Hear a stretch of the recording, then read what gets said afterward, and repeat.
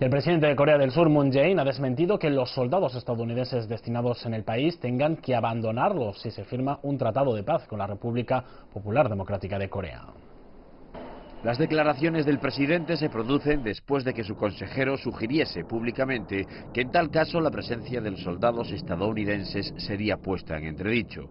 El Ministerio de Defensa surcoreano ha confirmado que ocho cazas estadounidenses F-22 habían llegado al país para participar en unas maniobras conjuntas. Habitualmente, Pyongyang reacciona con ira al despliegue de fuerzas estadounidenses.